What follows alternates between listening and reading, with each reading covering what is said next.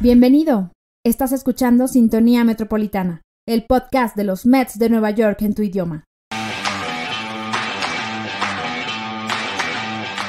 Hola amigos, ¿qué tal? Bienvenidos una vez más a Sintonía Metropolitana. Los saluda con mucho gusto Víctor Flores y hoy estamos una vez más acompañados por el periodista especialista en béisbol y sobre todo gran conocedor de los Mets de Nueva York porque les da seguimiento, eh, marcaje personal, el señor Moisés Fabián. ¿Cómo estás Moisés? Bienvenido una vez más a Sintonía Metropolitana. Eh, Víctor, eh, encantado y más que esta semana fue un gran momento para los Metros y cuando las cosas van bien es mejor hablar y cuando van mal. Me gusta más hablar bien y que, que los metros estén ganando a que una semana estén perdiendo. Y esta semana pasada fue maravillosa para los metros. Algunas malas noticias, pero otras buenas. Y el equipo está ganando, que es lo más importante. Así es, eh, afortunadamente los Mets eh, ganaron dos series. Desde la última vez que nos vimos, Moisés estábamos hablando de que iban a empezar a jugar serie en casa contra los Padres de San Diego, una serie que en lo personal se antojaba complicada. Es cierto que no barrieron la serie, perdieron uno de esos dos juegos, pero eh, vaya, salieron adelante, supieron sacar los resultados. ¿Y qué te parece si vemos un poquito eh, cómo les fue en esa primera serie contra los Padres de San Diego? Vamos a ver cómo estuvo el asunto en el City Field. Ahí está. El primer partido, victoria 5 a 0, blanqueada. La segunda eh, ocasión que se vieron fue, fue una derrota 4 a 2 y la tercera 5 a 2, victoria para los metropolitanos. ¿Qué te pareció esta serie? Eh, ¿Crees que, crees que ese, esa eh, derrota se pudo haber salvado? ¿Cómo viste tú a los metropolitanos en esa serie contra San Diego? lo más importante, Víctor, que, que, esta primera serie fue el, el, el abridor que se pudo mantener más de cinco entradas. O sea, a veces tú perdiendo no siempre tiene malas actuaciones. El béisbol es un deporte donde no hay empate. Tú pierdes, tú ganas, pero tú puedes tener buena salida de tus lanzadores y puedes tener buen trabajo de Lupen y perder un juego. Si te fijas, ningún partido pasó de siete carreras. Fue una serie de picheo. De picheo contra uno de los equipos más ofensivos del béisbol, como son los padres de San Diego. O sea, cuando tú analizas que un juego pasó 5 a 0, que tú pintaste en blanco a una batería que tiene a, a, Machado, a Soto, a Bogar, a Nelson Cruz. Sea, eso vale mucho. Pero que al otro día tú solamente le permitas cuatro carreras. Ya en 18 innings, cuatro carreras. Y que luego tú le sumas 18 innings, 9 innings más, son 27 entradas. Solamente le permitas cuatro carreras, bueno, seis carreras en 28 entradas permitió el picheo de los Mets de New York. Esa es la mejor valoración que yo puedo sacar y concluir de esta primera serie que ganan los Mets a los padres de San Diego en casa. Señores, el picheo como se mantuvo a rayas, trabajando versus el equipo de los padres de San Diego. Fíjense, 5 a 0 ganan, 2 a 4 pierden, ganan 5 a 2. Los Mets necesitaron 12 carreras contra 7, contra 6 para vencer al equipo de San Diego. O sea, el picheo dio la cara por los metros y apoyado por un bateo oportuno, pero no, necesitaron mucho. Pero vuelvo y repito, contra un equipo ofensivo como los padres de San Diego, tú dejarlo en 7, 6 carreras en 27 innings, es una proeza que tú no siempre la vas a tener ante un equipo tan ofensivo como, los padres. Sin duda, creo que eso que, mencionas, eh, Moisés, es algo muy valioso. El picheo supo sacar el trabajo adelante y pues vaya, eh, con gran gusto recibimos esa primer victoria frente a los padres en esta serie en el City Field. Importantísima serie que se termina ganando. Y bueno, después empieza ya la corridilla, la escalerilla de juegos, de series contra los equipos californianos y vamos a ver cómo le fue a los metropolitanos contra los Atléticos de Oakland, que bueno, el primer juego pues fue eh, una verdadera paliza los que se llevaron los Atléticos, 17 a 6, el segundo lo ganan los Metropolitanos 3-2 y eh, el último juego para terminar la barrida 4-3. Esos dos últimos partidos, Moisés, eh, se apretaron un poquito, parecía que se complicaba la cosa, pero al final de nuevo respondieron los bates de la ofensiva metropolitana y barren la serie. También muy importante eso, ¿no? Bueno, y aunque todo el mundo sabe que Oakland es un equipo más débil que los Metros, de los más débiles de grandes ligas, pero al débil hay que ganarle. Usted no puede decir que al de... ah, le, gané, le gané al flojo. Bueno, al flojo, mátalo. Dale duro. Gánale. Porque si tú pierdes contra el flojo, entonces contra el, contra el fuerte, tú vas forzado. Pero lo bueno es que viene de ganarle el fuerte a la serie a San Diego y que le gana a Oakland en su casa, en el Coliseo, que es un estadio difícil para batear. Y fíjate, el 14 de abril, 17 carreras, en uno de los estadios más difíciles de batear. Ya de en adelante, bajó el score 3 a 2, 4 a 3. Pero en, lo más importante de esa serie es el bate de Pete Alonso y el bate de Francisco Paquito Lindor, que montaron festivales de jonrones por allá, por el oeste, por Oakland. Eh, o sea que, y barrer la serie, ganarla por segunda consecutiva, con lo cual los metros ahí con, con récord de 10 y 6, 4 por encima de 500. Eso es lo más importante. Venir ahora de ganar esa serie, de tú barrerle a Oakland, es algo extraordinario y ver cómo el equipo despertó el bateo por allá. Y bueno, ahora eh, los metropolitanos siguen de gira por California y pues inician una serie también muy importante contra un equipo pues mucho más poderoso en el papel que los Atléticos, que son pues los Toyers de Los Ángeles, unos Toyers que no andan muy finos en esta temporada, Moisés, que, incluso jugando como locales aquejan eh, varios problemas.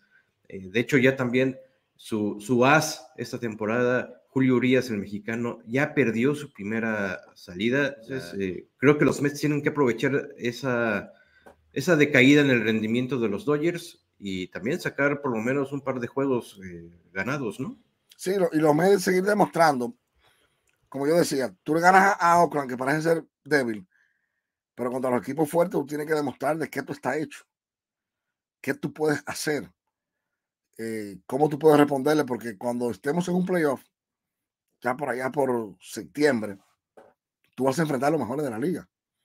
Y como tú aspiras a clasificar, así esperamos en Dios que los metros estén ganando la, división este de la Liga Nacional, se van a enfrentar a Atlanta, a los Dodgers, a, a equipos como San Luis, como San Diego. O sea, tú vas a jugar contra los mejores. Y desde ahora tú le vas dando adelante victorias y buenas, y buenas presentaciones contra rivales directos eso lo hace bien. Los Dodgers han estado perdiendo un juego interesante. Vienen de pasar trabajo con Chicago Cubs. Que Chicago está muy bien. O sea, tiene un equipo que yo decía en, programas que los Cubs van a ganar muchos partidos, van a hacer mucho daño. Pero eso es el problema de los metros. Los metros tienen que ir a, a, los Dodgers de Los Ángeles a tratar de salir ventajoso de esta serie. Sin duda, esperemos que así lo, así lo hagan los Mets. Y bueno, hay un asunto que hay que tomar en cuenta para esta serie, Moisés, porque eh, de hecho, eh, pues parece que la rotación va a seguir sufriendo un poquito para poder mantener el buen ritmo. En este caso es ahora Max Scherzer quien da noticia de problemas físicos. Eh, no abrió el último juego contra los Atléticos de Oakland. Él salió a dar declaraciones diciendo que pues, que tenía un dolor como el de 2019, cuando todavía jugaba con los, con los nacionales de Washington. Eh, dijo que no es de gravedad, que solamente necesitaba un poco más de tiempo de descanso, entonces no abre el juego contra los Atléticos.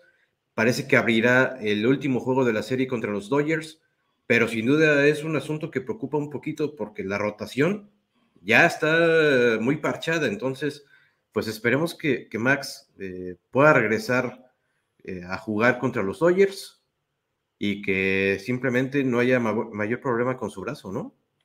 Bueno, eh, parece ser que no es tan grave, pero por su edad, por su acumulada, dilatada carrera en grandes ligas, acumulada, grandiosa carrera, Ese brazo sabemos que tiene mucho sin lanzado.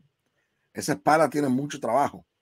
Esas piernas tienen mucho trabajo acumulado. O sea, no es lo mismo que un novato de 25, 24 años sienta una molestia en la espalda que un pitcher de más de 30 y de más de 10 años en grandes ligas tenga dolencia. Pero el hecho de no ponerlo en la, en, la lista de lesionados y sacarlo de la rotación quiere decir que son molestias menores.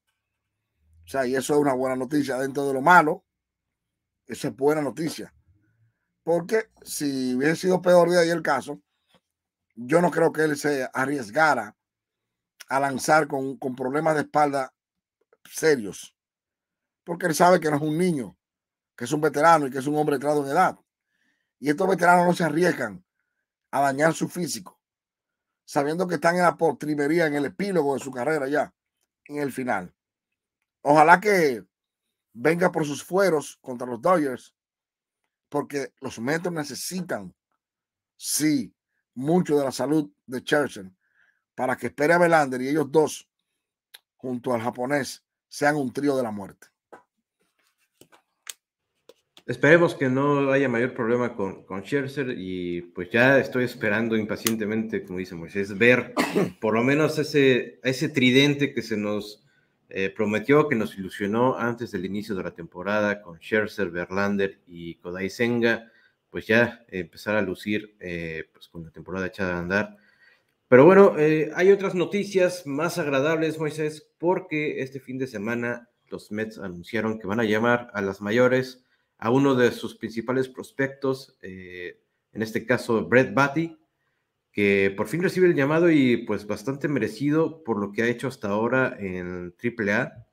Ya le tocaba, ya era su hora y pues por fin Brett Batty llega a las mayores. Bueno, podría estar debutando hoy, eh, esta semana. El hombre en AAA la quemó. Cinco honrones, 15 RBI, están los, los números. Eh, 14 y 75 turnos al bate. O sea que el hombre quemando ahora. Para que los fanáticos entiendan, grandes ligas es grandes ligas. O sea, tú vienes con unos números, tú vienes con una proyección de hacerlo todo, pero grandes ligas todo cambia. Claro, Bati viene con un clic de que no puede fallar. Dicen los scouts de avanzada, sobre todo de MLB, de otros equipos, que el hombre no puede fallar. Es una gran noticia para los metros. ¿Por qué es una gran noticia? Porque tú vas a ir probando tu talento y tú vas a ir viendo temprano la temporada de qué están hechos ese talento. ¿Qué puede aportar? ¿Qué tanto puede aportar a tu equipo ese talento? O sea que enhorabuena para, para, para Batty y ojalá que cuando reciba el chance en el equipo grande de una vez pueda, pueda enseñar y pueda eh, sobrevivir ante unos leones que hay en grandes ligas, que no es lo mismo que AAA, señores. El talento está, las condiciones están, la juventud está. Ahora falta que él demuestre que toda esa proyección que dicen los scouts, las operaciones de béisbol, la pueda mostrar ahora en el equipo grande de grandes ligas. Lo vimos en el sprint training, lució, eh, creo que también es muy importante su, fuerza de voluntad, la mentalidad que tiene este chico, porque cuando parecía que por fin se ganaba un lugar en el roster de cara al Opening Day, lo bajan a AAA. Eh, él no desiste, no se rinde, no, no se deja vencer por la noticia, por el haber sido descendido a ligas menores. Sigue jugando de manera espectacular. Por fin gana de nuevo el llamado a ligas mayores y ahora, ¿tú crees que, él tenga la posibilidad real de ganarse un puesto en tercera base con los metropolitanos? ¿O tú crees que, que Escobar es demasiada pieza para que sea sustituido por lo menos en esta temporada? La maravilla fuera que él demostrara que está hecho para estar en grandes ligas. Porque eso da un boom importante al equipo. Da un giro, sobre todo de traer un novato que la fanaticada adora sin jugar grandes ligas, los fanáticos de los Mets siguen bastante a este jugador en ligas menores. Tú lo subes a grandes ligas y el hombre explota. Tú vas a tener un ídolo, un líder arriba. Obviamente afectaría a Escobar, que es un jugador multifacético, que te puede jugar tercera, segunda, hasta los jardines. Pero eso va a depender de, de Bati. Eso no depende de, los deseos de los fanáticos. Cuando esté arriba es que vamos a saber de qué él está hecho. Además, eh, Escobar es uno de los favoritos de la fanaticada. Sí, sí, sí. Obviamente. Pero eh, eh, está en, en, una posición en desventaja ante estos novatos. Si estos novatos explotan en grandes ligas, tú no tienes otra opción que dejarlo y ganarte ese favor de ellos. Primero el salario mucho menor. Y, y, tiene un ídolo que te puede acaparar mucha juventud y mucha más gente al estadio. Muy bien. Oye, ¿y qué te parece si hablamos de otro prospecto que está pidiendo a gritos ser llamado a las mayores? Y es uno de los nuestros, latinoamericano, dominicano, eh, que ya fue campeón en este invierno allá en Dominicana, aparte MVP de la temporada regular con los Tigres de Licey, y es el señor Ronnie Mauricio, que también está teniendo números importantísimos Ahí lo vemos, 15 eh, juegos, 57 turnos al bat, 20 hits, 6 home runs, 14 eh, carreras impulsadas. Está bateando para 351, lo cual me parece destacable. Eh, Brett Batty está bateando, bateando para 400, con un poco menos de juegos y menos turnos al bat que, Mauricio, pero creo que este, estos números de Mauricio son muy importantes y creo que se merece el llamado ya a mayores, ¿no, Moisés? el problema Víctor es el espacio en la liga. Recuerda que rote de 26. Y para tú subir a Mauricio tiene que bajar a alguien. O alguien lesionarse. Y ahí está Daniel. Ahí está, ahí está Vogelbach. Ahí está. ¿Quién más? a mí se me ocurren por lo menos 3, 4 opciones.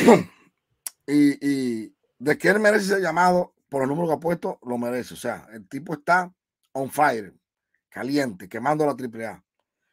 Yo decía que Mauricio debió jugar outfield en, invierno, porque Mauricio como un cuarto outfield en grandes ligas estuviera perfecto ahora mismo en ese equipo. Pero lamentablemente le juega la posición de Francisco Lindor. Todo el mundo sabe que eso está comprometido, sellado, ya por muchos años ahí. Pero es una, es una noticia agradable para los metos. O sea, tener ese talento ahí debajo es lo que te da profundidad y garantía de que un resbalón de cualquier eh, estelar en grandes ligas, tú tienes con qué suplantarlo de una vez. O sea, los fanáticos no pueden desesperarse. Los fanáticos deben de entender que no hay cama para tanta gente. Y que sí, que el equipo tiene grandes prospectos en ligas menores bateando, pero son 26 en el roster. Y recuérdense que hay posiciones clave como receptor, como el shortstop que la juega él, que si tú subes uno por, por uno de esos que selecciones, tiene que ser uno de la misma posición. Selecciona un outfield, tú subes un cuarto outfield. Pero si selecciona un catcher, tienes que subir un catcher. Porque tú no vas a quedarte jugando con dos catchers o un catcher. Ahora, si seleccionase Dios libre, Lindor, él sería la primera opción. U otra tercera base, porque él no es tercera base, pero Mauricio demostró en invierno que puede jugar tercera base de manera espectacular. Pero lo que tiene que seguir es enfocado, bateando, para cuando el llamado llegue, que va a llegar en cualquier momento. Dios quiera que no sea por lesión, sino por, para ajustar más el equipo. Tiene que estar ready para el llamado a grandes ligas. Oye, y alguien que parece que ya está ready, que ya calentó el bat, que parece que, ya nos va a empezar otra vez a enamorar con, esos batazos eh, kilométricos, pues es eh, precisamente Francisco Lindor, que tuvo un fin de semana espectacular, Moisés, pegó un gran slam, luego pegó un doblete para traer a home a todos los eh, corredores envasados y pues se convierte, como vamos a ver en un instante, en el primer jugador puertorriqueño en pegar un gran slam y después un doble, pues para impulsar a todos los corredores envasados. Esto es algo que no se había visto, que por lo menos ningún puertorriqueño había logrado. Y pues, eh, además de eso, pegó otro, otro par de home runs frente a los Atléticos. Eh, algo maravilloso lo que hizo Francisco Lindor en este fin de semana y que parece, promete que por fin ya despertó. Eh, antes este fin de semana solamente había tenido un, un, home run y pues parece que Paquito está de regreso, Moisés, y que por fin ya lo vamos a ver explotar con el bate. de las mejores cosas es que va, está disminuyendo los ponches. La otra semana se estaba ponchando con lanzamientos muy fuera de la zona de strike. Parece que hizo los ajustes, parece no. Hizo los ajustes y ahí están los resultados. Gran slam, jorrones consecutivos, dobla la pared, empujando la carrera. Señores, este señor es el alma de ese equipo. Que nadie le quepa duda. Francisco Lindor es el alma de la alineación de los metros de New York. Así como el Valle, de bien o mal, así va el equipo. Porque él es un líder nato. Pero también es un tipo que la parte baja de la no tiene que estar en base. Llegando a segunda para que Alonso haga el trabajo de traerlo. Bueno, y Lindor también sacándola porque el hombre da 30, tiene un gran bate. Pero a mí me preocupaba hace días era los ponches. Y ya eh, en materia de ponche el hombre ha mejorado bastante. Esperemos que, Paquito siga también con esa dinámica. Pita Alonso también está respondiendo, está bateando eh, en momentos oportunos. Y pues esperemos que la ofensiva eh, de los Mets termine por despertar. Todavía de repente hay lapsos durante los juegos donde parece que la cosa se empieza a caer. Afortunadamente, Paquito este fin de semana tuvo actuaciones importantes para sacar adelante la serie frente a los Atléticos de Oakland. Es él quien rompe el empate eh, el domingo con un batazo espectacular y pues esperemos que así se mantenga Moisés y que sobre todo la serie contra los Dodgers será luzca, será luzca. Exacto, que todos salgan enchufados, pero principalmente creo que, que, la ofensiva depende de este par de hombres, Francisco Lindor y Pete Alonso. Esperemos que ellos dos carguen al equipo en sus hombros. Eh, contra los Dodgers es una, una, serie importante. Y luego se inicia una serie de cuatro partidos contra los Gigantes de San Francisco, una serie también que hay, que hay que aprovechar. Los Gigantes tampoco están pasando por un buen momento y creo que que la mesa está puesta, aunque como bien dices no hay rival pequeño, no. pues los metropolitanos tienen que aprovechar la, condición que están pasando los gigantes de San Francisco para volver a Nueva York, pues con, si no es con dos series ganadas, pues por lo menos con una buena cantidad de juegos en el bolsillo, ¿no?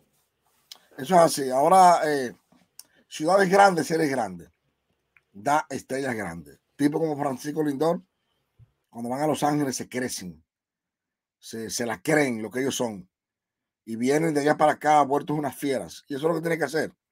Repito, este equipo, él es como el alma del equipo. Y mientras más mejora Lindor, mejor van los metros. Esperemos que los Dodgers pueda dar un gran espectáculo, tanto a la defensa como a la ofensiva. Pues ahí está lo que se viene para nuestros metropolitanos, series importantes en California. Francisco Lindor con el bate caliente, el, prospecto Brett Patty que por fin es llamado a las mayores. Y pues esperemos, Moisés, que la próxima vez que nos encontremos en Sintonía Metropolitana, hablemos de los metropolitanos arrasando, tomando el liderato de la liga, de la división. Y pues no me queda más que agradecer una vez más por acompañarnos por segunda semana consecutiva en ausencia de Raúl Ramos, que sigue de gira artística por la Unión Americana como si fuera Luis Miguel. Él dice que es el Luis Miguel del béisbol, ojo. Bueno, pues. Entonces. El sol, el sol, el sol de, de, New York, le vamos a poner. Es el sol del City Field. Sí, señor. Así es. Pues, Moisés, muchísimas gracias por acompañarnos una vez más. Ya sabes que esta es tu casa, Sintonía Metropolitana te da siempre la bienvenida. Cuando tú quieras, tú, Kyle, por acá, que quieres venir a platicar de los metropolitanos, no tienes que avisar, tú entra como Juan por su casa. Siempre serás bienvenido, mi estimado Moisés. Un placer y esperemos cuando llegue Justin Belander cuando el equipo tenga ese trío de lanzador, eh, que los metros estén arriba, arriba, arriba, arriba, arriba, venir a celebrarlo aquí en Sintonía Metropolitana. Para mí siempre es un gusto y un placer. Aquí te estaremos esperando con, con, los brazos abiertos, como siempre. Y muchísimas gracias a todos ustedes, fanáticos de los metropolitanos. Gracias por acompañarnos una semana más. Y esperemos que la próxima semana Raulito esté de vuelta y nos platique sobre su gira artística y sobre todo sobre los resultados importantes de los Mets de Nueva York. Muchísimas gracias. Hasta luego.